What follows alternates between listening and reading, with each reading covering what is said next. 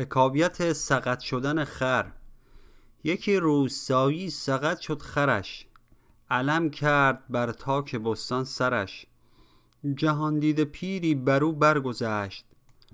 چنین گفت خندان به ناطور دشت. مپندار جان پدر کین حمار. کند دفع چشم بد از کشتزار که این دفع چوب از سر و گوش خویش نمی کرد تام ناتوان مرد و ریش. چه داند طبیب از کسی رنج برد که بیچاره خواهد خود از رنج مرد؟